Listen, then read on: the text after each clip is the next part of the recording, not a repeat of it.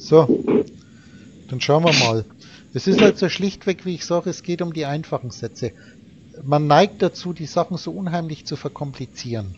Das heißt, ob es mhm. jetzt andere gibt, und ich sage, wenn du dich einfach einmal in das Jetzt holst und du machst dir bewusst, dass ich das darauf hinweise, dass ich immer von Vereinfachungen, von Vereinfachungen, von Vereinfachungen spreche. Äh, mhm. Und zwar schlichtweg und einfach, weil ich muss in einer Sprache zu dir sprechen, wo du mit deiner Logik mitkommst. Und du verkomplizierst ja. es dann immer wieder. Wenn wir das Beispiel machen mit persönlichen Solipsismus oder mit äh, persönlichen Solipsismus in der Richtung gibt es überhaupt nicht. Ja, das ist einmal das allererste. Es gibt verschiedene intellektuelle Programme. Und jetzt hm. sagen wir einfach mal, wir nehmen den Gott, nehmen wir jetzt einfach mal einen Computer. Das ist diese simple Metapher. Und was du auf deinem persönlichen Leben, in deinem Traum zu sehen bekommst, in deinem Bewusstseinsbildschirm, das hängt letztendlich davon ab, welchen Intellekt du zum Denken benutzt. Das ist dieses blaue Ich, das blaue Leben. Und ob ja. jetzt auf den Computer noch andere Programme, andere Ichs mit drauf sind, die sind in dem Moment von dir aus gesehen sowieso bloß zwanghafte Mechanismen KIs. So wie letztendlich dein eigenes Programm, dein jetziges Dasein ja auch KI gesteuert ist. Genau, genau. Und jetzt kann ja. man das ganz einfach machen, wenn wir ein Videospiel spielen. Dann mhm. steuerst du einen Avatar. Mhm.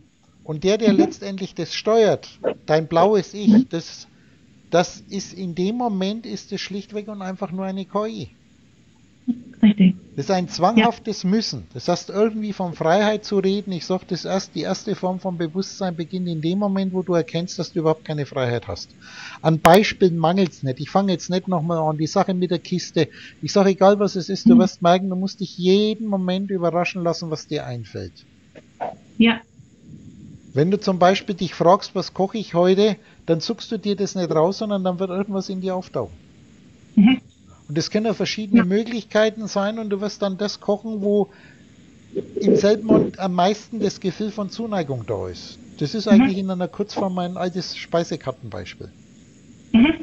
Mhm. Und damit wird dir dann immer mehr bewusst, dass die Menschen, die in den Traum in Erscheinung treten, die glauben, wenn du jetzt beobachtest und fragst, welche, dass sie selbst Entscheidungen treffen dass das eigentlich absolutes Unbewusstsein ist. Das Bewusstsein beginnt in dem Moment, wo du erkennst, dass du als, als äh, Avantgar in deinem Traum überhaupt keine Freiheit hast, sondern das, was du tust, was du denkst, was du erlebst, steht und fällt mit dem Programm, das sich in dir abspielt. Und der genau. Geist, der das akzeptiert, das ist jetzt der Punkt, wo ich sage mit dem Doppelschritt, dass du so weit bist, ja. dass du sagst, ich setze mich, wenn ich mich schon als irgendwas denke, denke ich mich als träumender Geist. Ja. Ja. Und mit dieser Reihe, die man wirklich 20 Jahre wiederholen muss, bis man sie verstanden hat, obwohl man glaubt, man hat es schon beim ersten Mal hören verstanden. Mein Doppelbeispiel, der träumende Geist und der Einfallspinsel. Ja. Wenn ich mich darüber erhebe, dann ist das einmal vom Tisch, dass ich irgendjemand, der in mir auftaucht, in meinem Traum, dass ich dem vorwirf, dass er so ist. Wenn du das wirklich verstanden hast, wirst du mit nichts und niemandem mehr mitleiden. Und du wirst aber als Geist der den träumenden Geist die Informationen beobachtet, erkennen, dass du trotzdem reagierst wie eine Maschine. Ja, ja. Aber das, das kriegt alles eine ja. ganz andere Qualität. Da habe ich doch ja. auch drüber erzählt, es kann durchaus was sein, ohne das was ist. Zum Beispiel, wenn genau. du dir einen Film anschaust, einen schönen Film, wo du zum Heulen anfängst. Und da kannst du deinen Körper beobachten, der sich in dir aufbaut, wenn du an den Körper denkst, dass dir nicht nur Tränen, jetzt alles ausgedacht, die Wangen herunterlaufen, vollkommen real, sondern dass du auch dieses Gefühl der Ergriffenheit kriegst oder eventuell das Gefühl von Ekel, nur weil du irgendwelche Bilder auf dem Monitor siehst. So viel ja, zum Thema jetzt, Freiheit. Genau. Es ist aber dieses nicht, diese Bewusstsein, das ist die Freiheit, dass ich die nicht habe und gleichzeitig ist es, wird es jetzt langsam spannend. Es wird nur deswegen spannend, weil dieser Moment des Loslösens, in diesem Moment dieser Beobachtung, ist, das hat was anderes. Ich kann das gar nicht beschreiben. Also das wird natürlich nicht immer. Es gibt aber diese intensiven Momente, das zu beobachten, wie ich mit meinem Programm reagiere, ob das jetzt Wut oder Zorn ist, ist aber weniger. Und es ist eine ganz andere Qualität. Es hat irgendwas, es wird ein bisschen spannender. Also ich würde ja nur, ich sage ja nur, ich habe einen Hauch von dem, ich würde ja einen Hauch von dem begreife ich jetzt langsam. Ich bin ja sehr vorsichtig mittlerweile mit dem ja, zu sagen, ja, ich verstehe. Das, das sind ja auch jauchzen zu Tode betrübt, wofür sie erleben. Das ja. ist dieses Gefühl von Euphorie, das du kriegst, weil du meinst, du hast was verstanden. Dieser klares Zeichen, wenn du in der Beobachtung bist, dass der nichts verstanden hat, weil ja. dieses Objekt, das du ich nennst, wieder extrem einseitig ist. Genau. Da kann Exakt. ich immer wieder nur auf meine Bergpredigt hinweisen, solange du in dieser Rolle drin steckst, hast du diese Illusion eines chronologischen Wechsels von hell und dunkel, von Hunger und Sattsein, von Freude mhm. und Leid Wobei das sich alles relativiert, umso mehr du wirklich wertfrei beobachtest. Darum sage ich immer wieder, der wirkliche Beobachter, der wertet in keinster Weise einseitig qualitativ, sondern er schaut nur, was ist und wie die Sachen aufeinander reagieren. Mhm. Und du hast diesen Satz, der Satz, ähm, der Bruch des zweiten Gebotes, äh, der tauchte immer wieder auf. Und dann ähm, ist im ersten Moment der Bruch, ich breche etwas, ich mache es negativ. Aber nein, das ist doch beides gleichzeitig. Wenn ich diesen Bruch die Mitte, die Ebene, Beruch, aus der alles. Beruch. Bitte? Beruch. Genau, Beruch. Das ist der Beruch Geist, heißt genau. das da mal im Geist.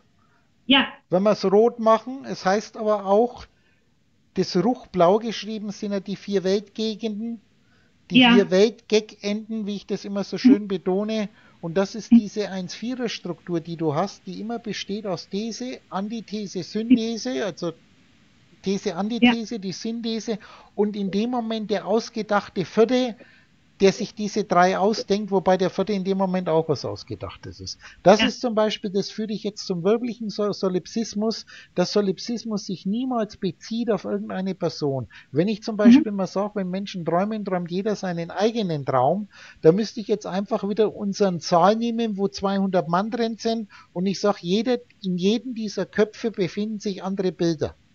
Aber da genau. diese Köpfe was Ausgedachtes sind und die Köpfe sich ja nicht selber bewusst machen können, was ist, ich kann das immer nur auf meinen Kopf beziehen. Ja. Und jetzt ist in dieser genau. Beobachtung, wo ich sage, nur mit die Blickwinkel, das sind ganz, ganz alte Sachen. Du sitzt an einer Tafel, wo ein Haufen Leute sitzen und am Ende von der Tafel unterhalten sich zwei und in dem Moment äh, existierst du für die ja nicht weil nee. die irgendein Gespräch haben und du kannst dich jetzt durchaus aus, ein, aus diesem Blickwinkel, den du einnimmst, kannst du dir jetzt denken, was der gerade sieht. Du musst nur die Kopfbewegungen schauen und die ungefähr konstruieren über die Winkel, wo schaut er hin. Aber das sind immer deine Informationen, die nicht mehr existieren, wenn ja. du sie nicht denkst. Und jetzt ja. zu glauben, der sieht es ja trotzdem, es wird immer so sein, wie du glaubst, dass es ist. Das ist jetzt zum Beispiel wieder einer dieser tausend Sätze, wo ich sage, wenn du einen dieser tausend Sätze wirklich verstanden hast, hast du alles verstanden. Das beginnt, es ist hundertprozentig sicher, wenn du an was nicht denkst, existiert es für dich nicht und du bist jetzt nee. ein träumender Geist, der du eigentlich nicht bist, weil wir am Anfang gesagt haben, das erste, wenn du dich schon als irgendein Objekt vorstellst, vor dich hinstellst, aus dir herausstellst, dann mach zuerst einmal aus dir einen träumenden Geist. Weil in dieser mhm. Metapher kannst du dann dir klar machen, dass das dann mal alles aus dir selber kommt. Das genau. ist für die ja. Sachen, die in deinem Kopf in Erscheinung, in deinem Kopfkino in Erscheinung treten, das wäre jetzt praktisch dieser ausgedachte, träumende Geist symbolisiert, einen ausgedachten roten Kopf, der eigentlich gar nicht denkbar ist, dass Richtig. du immer nur das siehst, was jetzt da ist. Exakt. Es mhm. existiert nichts anderes. Diesbezüglich nee. ist eine ausgedachte Vergangenheit auch hier und jetzt und eine Zukunft auch hier und jetzt. Und was nicht ja. gedacht wird, ist nicht. Und alles, was man ja. jetzt auffächert, ob es das gibt oder ob es das nicht gibt. Ich sage, der nächste Satz, es wird immer für dich so sein, wie du das mit deiner Logik für dich selber definierst. Das ist der Satz der Sätze. Das ist und solange du dir noch den Kopf ja. zerbrickst, von mehreren Möglichkeiten, welche davon richtig ist, ist das ein klares Zeichen, dass du noch dich in der Ebene der Perspektiven befindest. Mhm, mhm. Ein Richtig. anderer Satz. Ich versuche dir mit Worten was zu erklären, das durch jedes einzelne Wort, das ich ausspreche, zerstört wird. Das ist das, was die Esoterik die Stille nennt, das Undenkbare, wo du dich ja nicht hinmeditieren kannst, das bist du schon immer gewesen, du hast es bloß vergessen. Ja. Weil du ich bist. Ja. Und das ist die, wo ich immer wieder betone, ich spreche jetzt zu dem Geist, der mich jetzt ausdenkt mhm. der jetzt den Udo sprechen hört, ich bin jetzt deine Information, das meine ich hundertprozentig tot ernst und das ist ein hundertprozentiges Faktum. Ja. Was du dir natürlich jetzt unter dem Wort Udo vorstellst, und da kann man immer nur wiederholen, mach dir bewusst, was jetzt real ist. ja. Dann wirst du ganz klar feststellen, dass eine Lautsprecherstimme, die spricht aber nicht nur mit der Stimme vom Udo, sondern im selben Moment auch mit einer Stimme einer ausgedachten Kastin. Ja.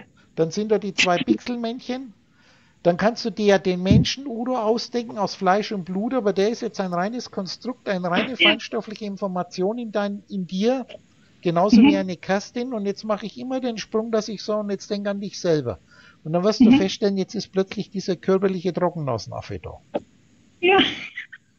Und jetzt können wir Sachen erschaffen. Da habe ich so viele Beispiele, dass ich jetzt aus nichts was erschaffe, indem ich sage, jetzt denk an deine Beine und wackel mit den Zehen an den Beinen. Mach das. Wo waren die jetzt die ganze Zeit? Ja, Deswegen, darüber gibt es nichts da. zu diskutieren. Du kannst immer nur feststellen, wie hartnäckig du immer wieder mit deiner Rechthaberei runterfällst, wie sich Ängste ja. in dir aufbauen. Das ist tausendmal wichtiger, wie Wörter auffächern. Und ich habe so oft erklärt, dass ich das parallel laufen lasse. Es ist wirklich ein Wissen aus einer komplett anderen Welt. Ja. Es wird das aber dann so hart und so herzlos, wenn ich sage, die Nein. Figuren in deinem Traum interessieren mich nicht. Das sind wirklich nur Protagonisten. Selbst nee, ja. Der, der du zu sein glaubst, ist eine vergängliche ja. Erscheinung. Wenn wir jetzt genau. du auf den Körper beziehen, ich kann jetzt eine ja. Stufe höher gehen und ich kann auf den Menschen, der du zu sein glaubst, das Programm ist genauso vergänglich. Wenn du das durchschaut hast, wirst du das nächste Programm machen. Das nennt man dann Reinkarnation. Aber mhm. die Frage ist, durchrastest du die immer wieder in einer totalen Vergessenheit oder kommst du irgendwann einmal in einen Bewusstseinszustand, dass du ganz bewusst die Rolle spielst. Das ist dann das Wiederauferstehen. Mhm, genau. Was ich jetzt ja. der Figur Udo in deinem Traum zuspreche, aber der wiederum, der zu dir sagt, ich bin jetzt nur eine Figur in deinem Traum, wenn ich wiederkomme, werde ich wiedergeboren in deinem Geist. Es kann nur aus Geist entspringen und jetzt spreche ich dir einen speziellen Geist zu. Es gibt mhm. nur einen Geist. Merkst du, mhm. auf der Ebene muss ich laufen, hin und her trampeln. Ich scheine mir zu widersprechen. Nein, ich, ich wechsle nur die. Perspektiven.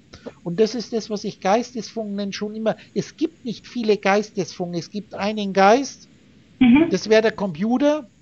Ja. Und der hat eben, wenn du einen Bildschirm hast, hast du nur ein Programm laufen, das auf dem Bildschirm ist.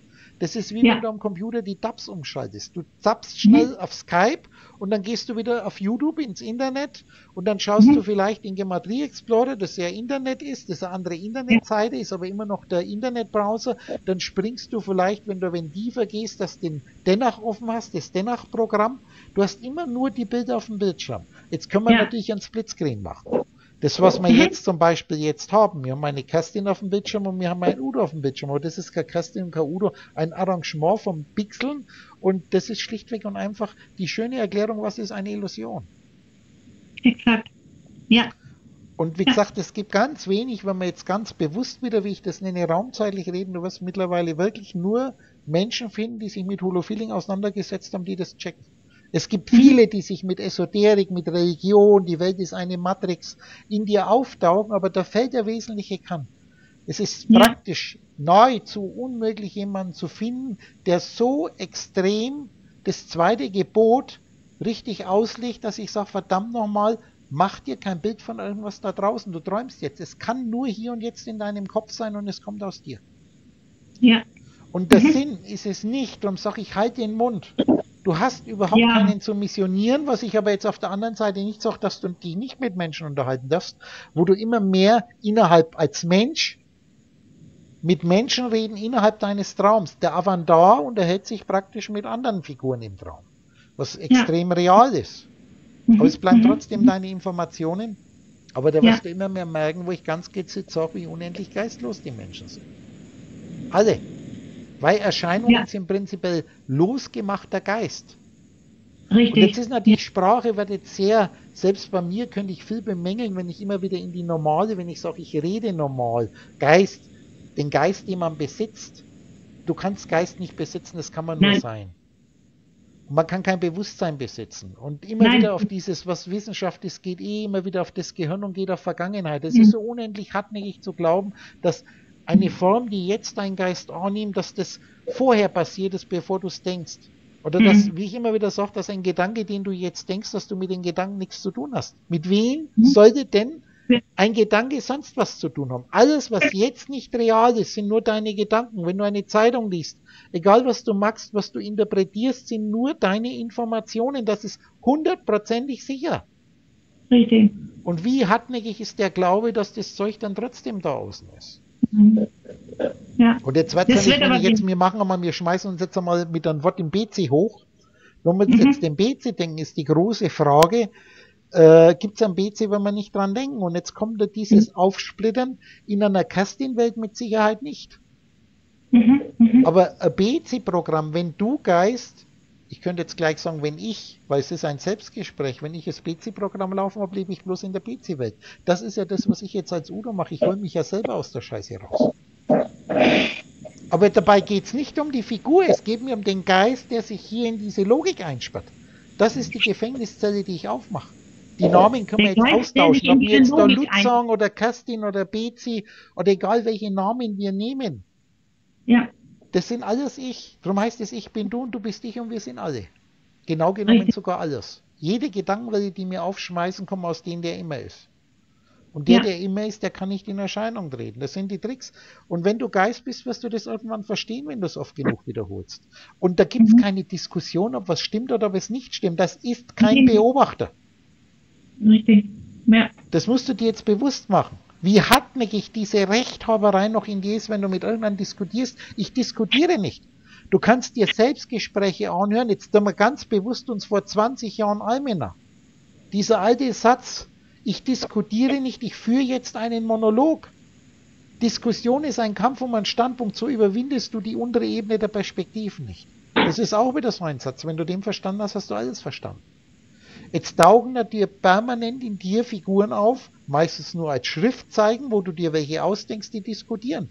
Das kann teilweise, ich behaupte jetzt nicht, dass das schlecht ist. Im Gegenteil. Nee, ich habe dann mhm. wieder einen kleinen Satz, der auch wichtig ist. Du hast eine, wir gehen einmal in die Brösel-Ebene, du Brösel hast eine andere Meinung wie ich Brösel. Denk an die Tasse. Mhm. Ich streite mit dir nicht, dass meins richtig ist, weil das, was du behauptest, für mich hanebüchend ist und mir die Haare zu Berge stehen lässt, sondern ich sage, hoffentlich siehst du was, was ich nicht sehe und ich sehe was, was du nicht siehst. Warum setzen wir uns nicht einmal geistreich zusammen und schauen, was muss das jetzt als Ganzes sein, was uns so widersprüchlich erscheint, wenn wir vom selben Thema reden? Richtig. Und ich rede ja. jetzt nicht von den faulen Kompromissen, dass ich immer nee. wieder sage, du hast eine Führerscheinprüfungsbogenwelt und was ich dir zurzeit aktuell, ist natürlich eine Frage, wenn du das Video dir anhörst, du kannst es nur mhm. jetzt anhören, wenn du unten auf das reingestellte Datum schaust und du sagst, das ist fünf oder sechs Jahre alt, wirst du feststellen, dass das, was ich jetzt anspreche, ein Schnee von gestern ist, aber das passiert immer, das sieht eben, das rote Jetzt ist extrem komplex und da musst du dir wieder Sachen rausziehen. Denk an mein Beispiel mit der Stadt im letzten Selbstgespräch. Und ich nehme jetzt einmal unsere, unsere aktuelle Politik, das zeigt dir diese unendliche Erbärmlichkeit und die Verlogenheit dieser Politiker. Diese Machtgeilheit. Da mhm. gibt's nichts zum Schönreden. Das ist auch nicht einseitig ausgelegt, das ist einfach das, was ist. Wenn man jetzt, ich habe jetzt extra physiognomisch und in der Rhetorik äh, etwas eine Emotion in die Stimme hineingelegt. Das ist nämlich sehr wichtig, weil da schwingt ja neben den Worten schwingt noch was mit. Ich mache mal ein kleines Beispiel, dass ich, wir gehen in Ich bin du zurück und ich sage, wir können einen und denselben Satz, obwohl wir den gleich hinschreiben, können wir die Worte anders auslegen. Wir können aber auch durch Emotion, nur durch eine andere Ausspracherhetorik, einen anderen Sprachrhythmus, den Satz komplett verändern. Richtig. Das ist das Beispiel, pass auf, wenn ich jetzt ganz neutral spreche, ich sage mal hier, da ist ein IOB und da ist einer, der sagt jetzt folgendes zu IOB. Beweise mir, dass du wirklich der Menschensohn bist und dann glaube ich dir alles. Okay? Mhm. Jetzt könnte ich das erwähnen anders. Das ist so, ich, jetzt tue ich das, ich füge ein paar Worte hinzu, aber nur, dass du weißt, um was mir geht. Beweist du mir zuerst einmal, dass du wirklich der bist, der du zu sein behauptest, weiß, und dann bin ich so gnädig, dass ich dir das glaube, was du sagst. Das ist so eine unendliche Arroganz dazwischen. Ja. Jetzt machen wir das, jetzt drehen wir das rum. Beweise es mir doch bitte, dass du es bist, und dann glaube ich dir alles. Ja. In beiden Fällen hast du einen Beweis, aber einmal mit einer arschkriecherischen Demut und das andere mal mit einer Arroganz. Genau, oder wenn ich. Aber wenn die ich wollen die zuerst beide, haben eins gemeinsam, sie wollen ja. einen Beweis, der ihrer Logik logisch erscheint. Richtig, ja. ja. Und ich sage, mit deiner Logik, mit, mit deiner Logik wirst du nicht weiterkommen. Nee. Ich schenke dir eine neue Logik, die ich dir anbiete, und das Schöne ist, dass das deiner Logik nicht einmal, das ist die Sache wieder mit dem Haar dass deine Logik, ich nehme dir überhaupt nichts weg, nee. sondern ich verändere dich, indem ich dir was Neues dazu gebe. Genau. Das ist ein Unterschied, wo ich immer wieder sage, ob du von einer Perspektive, von einer Sekte in die, von einer einseitigen Denksystem mit Feindbildern in ein anderes Denksystem mit Feindbildern reinspringst, oder ob du dein Denksystem mit deinen Feindbildern, die letztendlich mhm. nur verkehrtes, verkehrte Kehrseiten sind, die du zu deiner okay. eigenen Heiligung brauchst, dass ich dich auf ja. die andere Seite setze und du das auch zu deiner Meinung machst. Mhm. Mhm. Darum mhm. diskutiere ich ja nicht. Das ist immer, wenn du äh, Holofeeling für Neugierige ist so eine kleine, eine kleine Geschichte mit drin über Diskussionen und dass ich immer ja. wieder sage, es hat jeder Recht. Ich sage das nicht, du hast Recht und ich habe meine Ruhe, sondern egal was einer äußert, ich bleibe mal hierzu bei unserem Michael mit seinem Solipsismus. Der hat immer recht, wenn er was sagt, aber sehr, sehr einseitig und sehr, ich sage mal jetzt natürlich, das ist jetzt interpretiert, das sind alles Interpretationen sehr aggressiv. Ich kann das anders auch sehen. Für mich sind es erst einmal nur Worte, wenn was auftaucht. Exakt, genau. Ich rede jetzt genau. als ein bewusster, normaler Mensch. Das ist mhm. der Zustand, den du dir jetzt aneignen solltest. Und mhm. da wirst du feststellen, dass sich Emotionen trotzdem in dir aufbauen. Es geht nicht anders, weil du noch ein Mechanimus bist. Ja. Und erst mit dem Doppelschritt, wenn du zum Beobachter deiner Reaktionen wirst, kommst du in eine ganz eigenartige Form von Ruhe. Mhm. Mhm. Darum sage ich immer, immer wieder dieselben Sätze, wenn irgendwie diskutiert wird. Das könnte sehr einseitig, wenn einer sich nur einseitig äußert. Du beobachtest zuerst einmal, wie diskutiert wird und dann mhm. beobachtest mhm. du dich selbst, also deinen Avantgar, deine Figur, dein Wertesystem, bei welchen Aussagen du Beifall klatscht und bei welchen Aussagen dir die Haare zu Berge stehen, wenn welche ja. diskutieren. Mhm. Ja. Du sollst dir nur bewusst machen, mit welcher Seite du sympathisierst, wo du zurzeit stehst, was dir richtig erscheint. Und genau. das ist ja auch richtig, weil jede Seite richtig ist, hat ja jeder recht. Aber genau, mir geht es darum, dass du merkst, es geht äh, gar nicht, dass du das verändern müsstest, sondern dass du dann die Demut hast, jetzt wieder, was ist an der anderen Seite richtig? Was, was brauche ich dazu? Ich muss mich zuerst einmal leer machen, ich muss meine komplette Sichtweise wegmachen, dass ich die andere Seite überhaupt sehen kann, weil die wird ja. sich massiv wehren. Ja. Es um wird das mal einfach auszudrücken. Ja, aber es, es verändert sich ganz, ganz langsam. Und mm, ich, also das, was du eben gesagt hast mit dem Satz, ich weiß, was du meinst vom Gefühl her, weil ich kann ja von einer gewissen Vorwurfshaltung in einem Satz jemanden etwas vorwerfen und es hört sich so an oder ich kann wirklich dieses etwas be äh, bewerten und sagen, okay, ich werfe es hin, deswegen finde ich diesen Satz, den du sagst, jede, äh, jede Person, die in mir auftaucht mit dem Charakter, ich werfe niemanden vor, dass er so ist, wie er ist. Wenn ich das beobachte, und da ist dieser feine Unterschied, weil ich kenne das von mir, dass auch unbewusst so ein Vorwurfston im Satz steckt. Und jetzt taucht es immer mehr auf, ich kann dem doch nicht vorwerfen, dass er so ist. Schau mal, wenn du immer wieder, wenn du ganz alte, die einfachen, die ersten Selbstgespräche und Vorträge, äh, mein altes Zoo-Beispiel, Du bist in der Lage, dich an der ganzen Flora und Fauna, die du dir jetzt ausdenkst, mit deiner Logik, was wir normale Welt nennen, mit Natur nennen, so wie die, die Biologie und die Zoologie dir das vorschreibt, du kannst dich an diesen unendlichen Vielfalt von Erscheinungen, kannst du dich erfreuen. Und wie oft habe ich schon gesagt, wenn du durch einen Zoo gehst, du wirst gar nicht auf die Idee kommen, den wilden Tieren irgendwie was vorzuwerfen. Ja. Das, weißt du, ich habe immer gesagt, du wirst einen Regenwurm nicht vor, dass er nicht fliegen kann und einer Giftschlange nicht vor, dass sie giftig ist. Das ist irgendwie all diese, auch die Stinker, die sind alle irgendwie faszinierend zu beobachten. Keiner ja. wird auf die Idee kommen, einen Löwen zum Vegetarier machen zu wollen. Nee. Es ist übrigens auch mit dir selber, wenn ich sage, als Trockennasenaffe in deiner momentanen Figur bist du rein körperlich vom ganzen Aufbau, was dein Konstruktprogramm jetzt macht, bist du ein Fleischfresser. Ja. Das heißt, wenn dir mal bewusst wird, wie voller Feindbilder Veganer sind und die ganzen Gutmenschen, weiß ich nicht, das ist, es ist die, die ganzen Bios, die nur Angst haben, dass sie irgendwas Giftiges oder was Verkehrtes essen. Das heißt, das esse ich nicht, das esse ich nicht, das ja. will ich nicht. Das ist das Leid, das ist das Zertalen, das ist eine einseitige Logik. Die leiden ohne Ende. Die haben selbstverständlich ja. Phasen, wo sie immer sagen, mir geht's ja so gut. Ja. Aber die werden Aber genauso wenig überleben, die werden sich wegrationalisieren. Das heißt, da sage ich jetzt definitiv, der Geist, der da dahinter steht, ist der Geist, der die sich ausdenkt. Sie selber ja. haben überhaupt keinen Kontakt dazu. Weil Kontakt nee, zum wirklichen Geist, zu ja. deiner höheren Ebene kriegst du bloß mit einem allumfassenden Bewusstsein, du musst die Selektivität verlassen, dass du wirklich dieser allumfassende Geist, die rote Liebe wirst. Ja, ja. Die rote Liebe ist allumfassend. Da habe ich so schön gesagt, ja. die blaue Liebe ist selektiv. Richtig.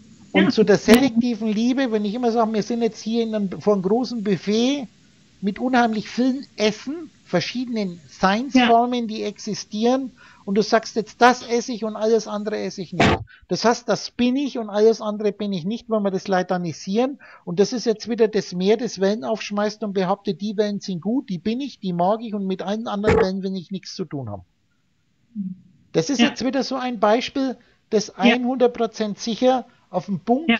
das Wesentliche aussagt. Du musst es nur verstehen, aber verstehen kann das nur der Geist, niemals ein Gedanke von dir selbst. Genau, ja, genau. Ich muss mal kurz Jupp rauslassen. Alles Ganz klar. So, da bin ich wieder. Ja, aber es ist spannend. Es ist, ist spannend, spannend, wenn du wirklich einmal, es ist spannend und du kannst auch immer wieder nur mit den Sätzen feststellen, wie dich das Leben immer wieder normal einholt, unabhängig jetzt von dem Wissen, was wir jetzt besprechen. Das macht die Lebendigkeit aus. Und darum erwähne ich dann immer auch, das wird im Alter, wenn das der Knick, das kannst jungen Leuten eh nicht sagen. Das ist diese Bewusstseins-, sprich Bevölkerungskurve, sprich Lichtgeschwindigkeitskurve, wenn wir das in der Formel anschauen. Erst wenn du in die Nähe der Lichtgeschwindigkeit kommst, fällt es zusammen und das ist jetzt der Punkt, wo man sagt, im Menschen, das ist das letzte Stück in dem menschlichen Leben, wenn du vor der Verwandlung stehst. Vorausgesetzt, du bist jetzt nicht nur eine KI, nicht nur ein Programm, weil die Programme sind ja alle in dir.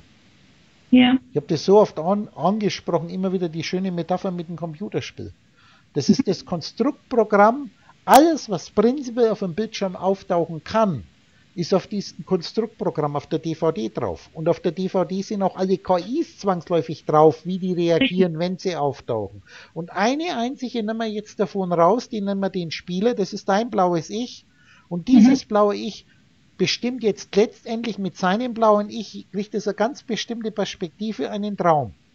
Wir können mhm. das austauschen. Ich kann jetzt eine andere KI rausnehmen und zum Spieler machen, dann wird die sich für was ganz was anderes interessieren.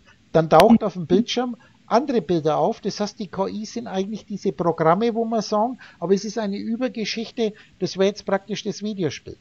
Wenn ich immer das Wort GDA bringe.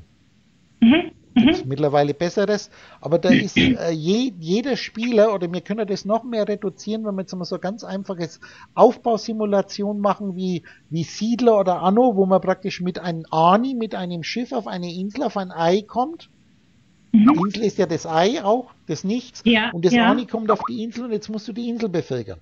Und da ja. habe ich schon vor 20 Jahren gesagt, wenn da 500.000 Mann spielen, dasselbe Spiel spielen, wirst du feststellen, dass die Insel, die überall die Häuser anders hinmachen, sich das ganz anders strukturieren mit demselben Spiel. Ja. Ja. Das ist jetzt mhm. eine sehr starke Vereinfachung und wenn wir jetzt Spieler haben, die KIs, wenn die vereinfacht sind, dass immer der Spieler letztendlich, das ist wie wenn du einen Film anschaust, wenn du jetzt einen interaktiven, wie ein interaktiver Film, wenn du so, so ein Abenteuer-Game spielst. Ich habe das erste Mal, äh, habe ich, ähm, ich habe noch nie so Computerspiele gespielt, aber Horizon heißt das. Das ist schon spannend, sich warum? da einmal. Um warum? Bitte? Weiß bisher nicht. Warum hast du das noch nie gespielt? Weil es bisher auf deinem Film noch nicht drauf war. Nee, und jetzt wurde ich neugierig und es ist ja wirklich spannend. Man kann sich da auch vollkommen drin verlieren. Das ist also ja. das nächste, wo ich dir sage. Das ist dann, kann man Weltflucht begehen wo ja. ja. viele dann wieder kritisieren, wobei ich sage, das ist relativ, weil du bist in einem Computerspiel, auch wenn das extrem real ist, das hat bloß ein besserer Programmierer programmiert, wie die, die ja. du dir ausdenkst. Das Prinzip ist komplett das gleiche. Ja. Und das ist jetzt nicht Science Fiction, Richtig. du wirst merken, umso mehr sich das jetzt weiterentwickelt, das spitzt sich immer mehr zu. Das heißt, was ich dir zurzeit in einer Führerscheinprüfungsbogen Traumwelt einspiele, ist zuerst einmal, dass dir immer mehr bewusst wird, dass du die ganzen Eliten deiner Welt vergessen kannst, so gescheit wie die daherreden, da kann ich immer wieder nur sagen, bewundere nicht Intellekt. Das ist Schwamminhalt, sucht sich keiner raus. Ob einer mhm. Professor Dr. Doktor ist, ob einer, einer ein Benner ist, ein Obdachloser ist, es sucht sich keiner seine Rolle aus. Es sucht sich keiner einen Schwamminhalt aus. Das heißt, diesbezüglich bist du als derjenige, der sich das jetzt ausdenkt, wohlgemerkt, du bist jemand, ein Ausgedachter, der sich andere ausdenkt. Träumende ja. Geist wieder bist mhm. du wesentlich mächtiger, stehst du in der Bewusstseinsskala in dem Moment, wo du dich als träumenden Geist setzt, schon weit, weit über den Figuren in deinem Traum, die kommen und gehen, die immer nur zeitweise Erscheinungen sind. Da wirst Richtig. du merken, das gilt jetzt auch für den Castingkörper oder für den Udo. Ja. Oder wen auch ja. immer. Ja. Du hast nur du, Geist, der du mir jetzt zuhörst, hast zurzeit dein Leben in dir laufen. Ja. Und das Konstruktprogramm im Hintergrund, da ist jetzt auch eine KI-Kerstin oder ein KI-Udo, die durchaus in dir auftauchen können. Und was hier natürlich das Problem ist, dass ich mit Intellekt, wenn ich meinen Intellekt, mein Wissen, meine Daten verändere, mir andere Vorstellungen machen kann. Das ist ganz normal, das kann jeder normale Materialist nachvollziehen. Das heißt, ich kann jetzt ein Buch in die Hand nehmen. Buch ist jetzt ja mittlerweile nur noch, ich gehe ins Internet, ich schaue mir irgendeine Märchengeschichte an und dann kann ich was Ja. aufbauen in mir. Und bevor Mhm. ich nicht einmal die Datei Schneewittchen geöffnet habe, gibt es bei mir auch keine sieben Zwerge hinter den sieben Bergen. Aber jetzt wird es natürlich interessant, dass für deine feinstofflichen Gedanken dasselbe gilt wie für die, das, was du real nennst. Du brauchst bloß mehr Energie dazu. Und das ist natürlich Richtig. jetzt interessant, was ich immer wieder anspreche. Wenn du jetzt zum Beispiel der Angela Merkel die Hand schütteln willst, dann kannst du die realisieren. Du musst Mhm. aber Energie zuerst einmal reinstecken. Das heißt, du wirst dann dich schlau machen, wo die den nächsten Vortrag hält, vielleicht in die CDU eintreten, an CDU-Parteitag. Irgendwann wirst du dich vordrängen. Ja. Wenn du genug Energie reinsteckst, der die Hand schütteln zu wollen, dann wirst du die in deinem Gesichtsfeld materiell erleben und kannst dir die Hand schütteln. Genau. Genau. Das ist deine Ja. Logik lässt es zu. Aber was jetzt Mhm. interessant ist, wenn ich jetzt zum Beispiel sage, kannst du den Einstein die Hand schütteln? Ich sage, du kannst den Einstein genauso die Hand schütteln, aber die Grundvoraussetzung ist, dass du im tiefsten Innern erst einmal glaubst, dass der noch da außen rumläuft, auch wenn du nicht an ihn denkst. Was du ja bei der Angela Merkel zurzeit machst. Das ist aber in deinem Glauben, dass der Einstein ja schon tot ist. Und weil das Ja. in deinem Glauben ist und deine Logik ja sagt, wenn er tot ist, kann ich den nicht ja aufsuchen. Ich kann ihn nicht mehr materialisieren, weil er ja weg ist. Obwohl der Ja. Einstein ist ja jetzt da feinstofflich. Wir denken ja jetzt an den Einstein. Richtig. Ja. Das heißt, dein tiefster innerer Glaube, dein tiefster innerer Glaube ermöglicht dir sogar was zu materialisieren. Darum sage ich immer wieder, es wäre möglich, dass du übers Wasser läufst. Wenn das in deinem tiefsten inneren Glauben, in deinem Schwamminhalt drin ist, dass das geht, dann kannst du das auch realisieren. Wenn du sagst, das ist unmöglich, weil du irgendwelche physikalische Gesetze nachplapperst, dann ist es für dich unmöglich. Bloß der Witz ist, wenn du jetzt mal, den- ich habe mir das Beispiel fliegen können, Menschen, die fliegen können wie Vögel. Würde das jetzt würde das jetzt, würde das jetzt in deiner Logik als möglich programmiert sein, dann können die Menschen fliegen wie Vögel, bloß das große Problem ist, wenn das für dich programmiert logisch ist, ist das für dich überhaupt nichts mehr besonders, die würde das gar nicht auffallen. Richtig. Ja. Das ist Ja. ganz, ganz, ganz, ganz wichtig. Darum sage ich Ja, immer ich- wieder, wenn wir jetzt 30 Jahre zurückgehen, Ja. Ein Handy wäre eine Sensation. Ich habe im letzten Selbstgespräch gesagt, jetzt mache ich raumzeitig, bewusst jetzt ausgedachte Vergangenheit. Ich wiederhole Ja. es nochmal, wie ich mich 1980 mein Tonstudio aufgebaut habe. Und Mhm. denk immer dran, ich habe angesprochen 76, nochmal hier und jetzt vier Jahre noch weiter jetzt zurückgedacht. Saturday Night Fever, das war so die Hochphase, wo ich in die Diskothek gegangen bin. Mhm. Es ich. hat Ja. kein, nicht einmal einen CD-Player gegeben, der ist erst Mitte der 80er Jahre gekommen. Richtig. Ja. Da kann ja. man keine CDs, geschweige denn Handys noch sonst was. Oder Nee. wie ich dann immer wieder betone, dass in irgendwelchen Büros in der normalen Anwendung Computer gestanden werden. Hm. Und die Welt war komplett dieselbe Welt. Du bist eigentlich jetzt eigentlich schon in dem Alter, wenn du jetzt zurückgehst, wenn du 15, 16, wie du das erste Mal in die Diskos gegangen bist, du bist jetzt langsam in dem Alter, wo du dir das eingestehen musst, war da die Welt irgendwie anders? Die war dieselbe Welt mit dieselben Supermärkten, du hast überhaupt nichts vermisst. Das ist diese Sache mit den Heroin. Hast du beim Rauschgiftsüchtigen? Dieser alte Ja. Spruch, hast du Probleme mit Heroin, mit Rauschgift? Mit Heroin, mit Rauschgift habe ich überhaupt kein Problem. Ohne habe ich die Probleme. Und jetzt Ja. gehen wir und nehmen den Kindern die Handys weg. Exakt. Ja. Es ist Mhm. die Droge. Das ist alles. Drogen. Das nicht loslassen können. Deine Logik wird dir immer hundertprozentig erklären, dass du das brauchst. Warum du das brauchst. Setz dich einmal sehr intensiv mit Suchtverhalten zusammen oder Alkoholismus. Ja. Ja. Und selbst da, da kommt ja die. Musst du Peterson Figuren, lesen. was- Bitte? Das ist Peterson, ein absoluter Großgeist in einer Menschheitsgeschichte, den ich mir jetzt natürlich jetzt ausdenke und der nur deshalb ein Großgeist ist, weil, weil ich ihn denke. Ja. Gregory Bateson, das ist, der hat äh, ganz, ganz schwer zu lesen, kein Philosoph, Aber ein ja. hochgeistiger Mensch mit einer extremen Präzision von Beobachtung, da kommt dieser Double Bind. Ich habe das schon mal hier, diese doppelte Verknüpfungsfalle. Das wird jetzt zu weit führen, das zu erklären. Ich gehe an einigen Stellen, gehe ich, äh, spreche ich das an in den Ohrenbohrungen. Das ist, erfordert einfach nur eine präzise Beobachtung von dem, was da ist, wie du immer wieder wegklitscht, dass wenn ich mich jetzt über wen aufrege, wenn ich jetzt, mir sagen wir mal wieder, wenn einer sagt, die Holophisten, die leben das ja nicht, was der Udo sagt, die Holophisten, mhm. die du dir in dem Moment ausdenkst, wenn du derjenige bist, der das in seinem Traum äußert, als diese mhm. Traumfigur, aufgrund seiner Logik, seines Programms, die können nicht anders sein, wie du sie ausdenkst.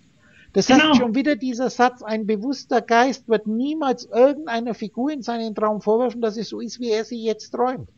Und er wirft mit dem Doppelschritt auch sich selbst nicht vor, dass er das jetzt so denkt. Es, das ist Bewusstsein. Ja. Die Stelle kannst du jetzt vier, fünf Mal hintereinander nochmal zurückspulen und nochmal anhören. Wenn du das verstanden hast, hast du alles verstanden. so einfach ist ja. es. Ja, es ist, es ist einfach. Das ist Bewusstsein. Du narrst dich immer wieder selber mit einer einseitigen Rechthaberei. Mach dir bewusst, wo du einseitig reagierst. Genau. Jetzt wieder an die mhm. Geschichte mit dem blinden Arschloch denken. Du wirst, ich sage immer wieder dazu, du wirst 15 bis 20 Jahre brauchen, Mhm. Von dem ersten Mal hören, bis du es wirklich verstanden hast. Und mhm. ich sage jetzt gleich, wenn ich mir, jetzt muss ich natürlich wieder Figuren denken, die eh nichts begriffen haben, wenn ich jetzt meine Donis, meine Feddings, meine Inge, die seit mhm. 20 Jahren Holofeeling intensiv studieren und jetzt auch alle über 70 sind, die mhm. sitzen jetzt mit einem breiten Grinsen da, wenn sie das hören, weil sie sagen, das stimmt.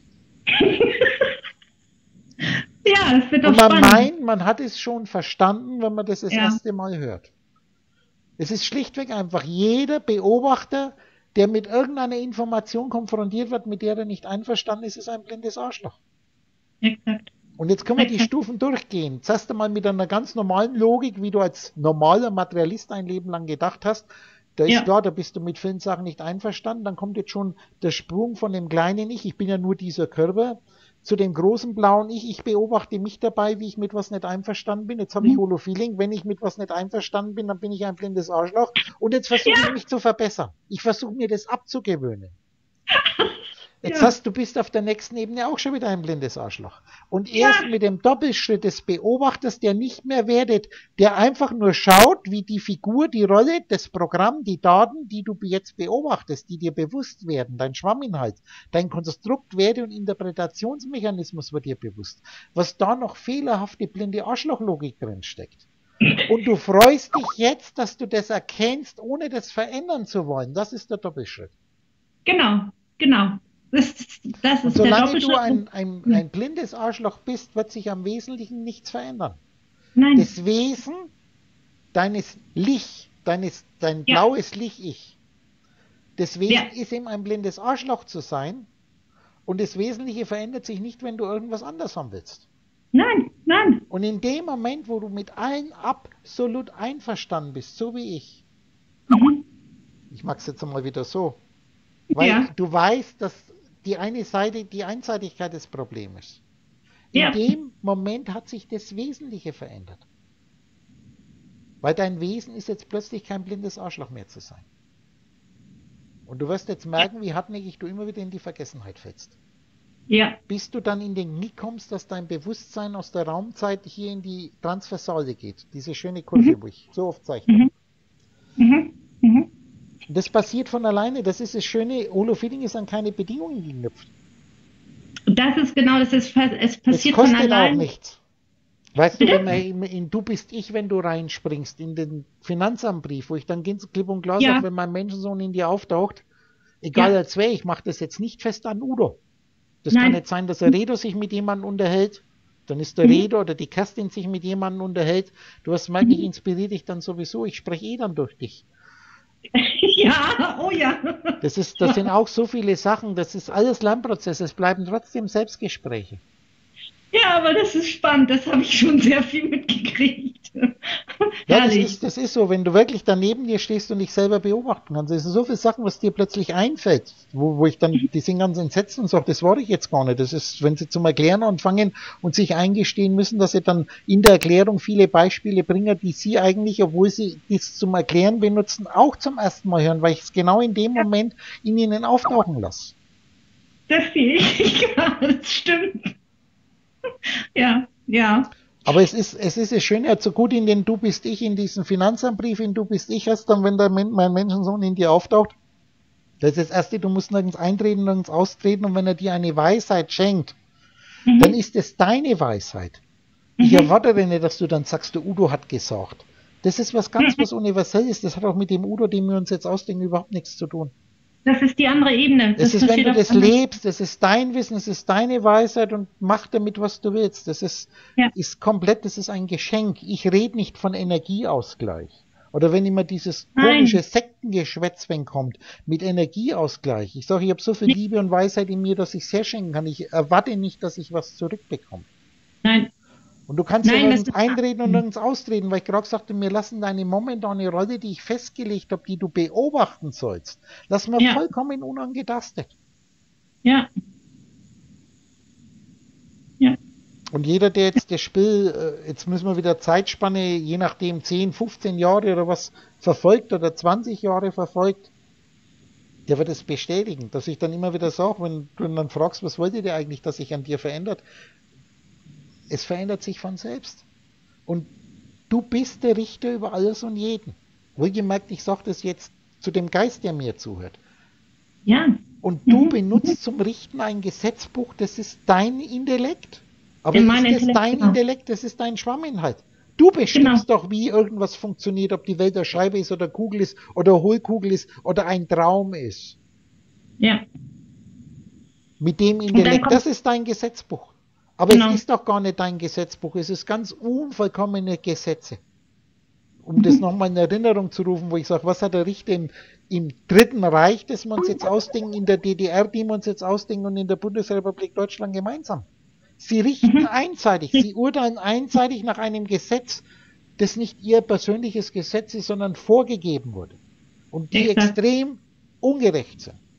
Oder ja. wenn du dir jetzt über Demokratie Gespräche auch nicht, Diskussionen ist ja sehr aktuell, mhm. gerade in der alternativen Szene.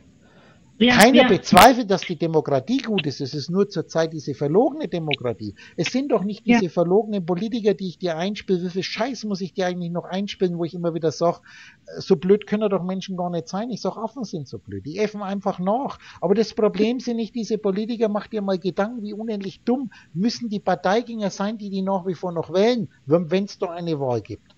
Das ist zum Beispiel alle SPDler, die immer noch dahinter hängen, weil die letztendlich nur ihr eigenes Spiegelbild vor sich haben. Das ist wie Kirchen. Es ist wie Kirchen. Ja. Wenn dir nicht das nicht bewusst ist, jeder, der hier auf. überhaupt kommt in einer Hierarchie, weißt du, ich kritisiere jetzt nicht die Fehler, die ich erschaffen habe. Nee, das ist, wenn ich du den Eindruck hast, dass ich jetzt irgendwas kritisiere, was ich erschaffen habe. Ich bin jetzt auf Vorschullehrer und ich erkläre, warum ich die Fehler in den Führerscheinprüfungsbogen reinmache. Nicht um die zu kritisieren, sondern fange mal selber zum Denken an. Und dann schau in dein Programm rein, wie weit du das selber noch machst, in Kleinigkeiten, wenn es dich betrifft, wenn es um deinen eigenen Arsch geht, wie weit du bereit bist, dein, deine kleine Insel von Sicherheit, die du um dich herum aufgebaut hast, zu verlassen eventuell. Oder wie dir der Arsch auf Grundeis geht, wenn du nur ein Hauch da ist, dich auf die Straße zu setzen. Ja. Wie du sofort ja. wieder in deine schöne Normierung hineinfällst. Richtig. Das ist bei jedem in einer Hierarchie, da geht es um Posten, da geht es um Verlogenheit, da geht es dann um die Partei, um die mhm. Merkel jetzt zur Zeit. Mhm. Das sind ja. Figuren, schau einfach wie in einer Märchengeschichte, das sind Märchenfiguren. Ja. Tausende Male sage ich, es ist die Zeitgeschichte, ein Hitler sind Märchenfiguren. Und ob der gut oder böse war, das bestimmt nicht die Figur, die du dir ausdenkst, sondern du. Genau. Und das, was ja. ich jetzt alternativen Fakten nehme, wo auch so, es gibt ja, für einen Materialisten gibt es ja nur eine einzige Wirklichkeit, nämlich die, an die er glaubt. Das ja. ist ein totaler Blödsinn. Das mhm. ist wie in einem Videospiel komplett austauschbar. Und da wirst mhm. du dann feststellen, sobald einer hier das, das offizielle Wissen, den du bisher angehangen hast, dieser Sekte, dieser Meinung, es ist eine Sekte. Ja. Die offizielle bundesdeutsche Nachkriegsgeschichtsprogrammierung ist das, was du, wenn du das Zeitfenster weiter aufspannst, es ist in einem Fort immer wieder dasselbe. Die Kriegsgewinner bestimmen, was dann Vergangenheit war. Hm. Es ist noch ja. nie anders gewesen und es wird auf dieser Ebene der Dimensionen, der Perspektiven, wird es auch nie anders sein bis in alle Ewigkeit. Der Ausweg ist nicht irgendwo in der Zukunft zu finden, sondern im Hier und Jetzt auf einer höheren Ebene. Und solange sich welche ja. darum streiten, ob das jetzt der Kreis oder der Dreieck ist, wissen sie nicht, was ein Kegel ist. Ja. Aber das wird ob rechts oder links richtig ist. Ja, ja. Und da wirst du merken, dass hier wirklich, das Thema hat man jetzt erst, jetzt sage ich mir, wir denken uns jetzt eine kleine Gesprächsrunde aus, dass man mit tiefem, stilles Eingeständnis und Schweigen, wie ich das so schön nenne, äh, dass die einfachsten Sätze von mir, die ich jetzt immer wieder wiederhole, wo ich sage, wenn du einen verstehst, hast du alles verstanden. Mhm. Mhm. Dass ganz normale, hochgebildete Menschen kommen mit diesen einfachen Sätzen überhaupt nicht zurecht. Mhm. Wenn ich nur, wenn ich sage, es ist hundertprozentig sicher, wenn du an was nicht denkst, existiert es nicht. Mhm. Du wirst merken, da wird ein, ein massiver Schwall von Hass und Gegenargumenten dich treffen. Und ja. da merkst du, es ist vollkommen sinnlos. Jetzt habe ich auch wieder so einen schönen Satz. Es gibt nichts Dümmeres, Geistloseres wie einen, der versucht, dann geistlosen Dummkopf zu erklären, dass er geistloser Dummkopf ist. Das ist ungefähr so, wie wenn du jetzt versuchst, dann den Computer zu erklären, dass er keine Ahnung hat, weil er nur ein Haufen Materie ist. Ja. Aber was ist ein normaler Mensch bei eigener Definition? Ja. Einfach ja. nur ein Haufen Materie. Vergänglich. Mhm. Er ist nichts anderes. Haben wir so oft gehabt, was, was ist ein Mensch und was ist ein Computer? Ja. Sätze Körper versus Gehäuse, Sätze Gehirn versus Computerchip, mhm. Rechner, Sätze Intellekt versus Programm, Software, Sätze mhm. Sinnesorgane, Lautsprecher, Bildschirm. Ja. Die größere Frage ist, wer denkt sich das jetzt aus? ich. Was ist ich? Ich bin du. Egal an was du jetzt denkst, es bist nicht du. Weil dann magst du nee. nicht sowas ausgedacht. Ja. Und alles, was du dir ausdenkst, ist vergänglich. Genau. Dann wird auch keiner, den du dir ausdenkst, wird überleben. Nichts wird überleben. Mhm. Nicht einmal ein ausgedachter Gott überlebt, weil der nur existiert in dem Moment, wo du ihn denkst.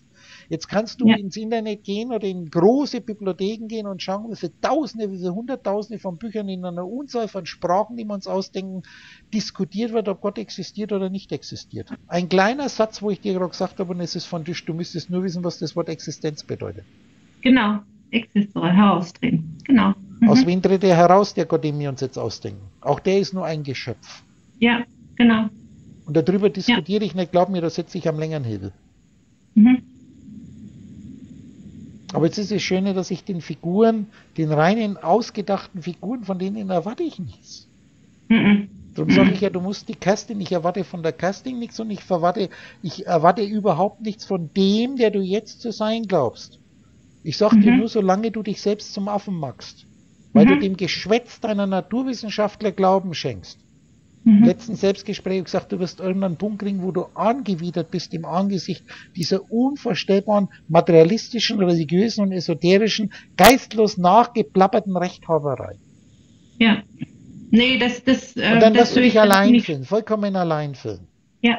Und dann wirst du dich ja. wieder vielleicht flüchten in den Holo-Feeling-Chat und dann diskutieren sie wieder oder dann schauen sie sie wieder hoch. Und das ist, es ist aber doch auch wieder nur Gedanken. Die ganzen, ja. die ganzen Geistesfunken, die wir uns jetzt ausdenken, das ist nicht der eine Geist. Und dann doch wieder irgendwie. Mhm. Mhm. Und immer dran denken, ich habe jetzt das nicht der Kastin erzählt, sondern dir. Nein. Dir Geist, dir, der du dir jetzt dieses Gespräch anhörst. Ja. Und jetzt lassen wir es gut sein. Ich danke dir. Ich wünsche dir was. Ich dir auch. Tschüss.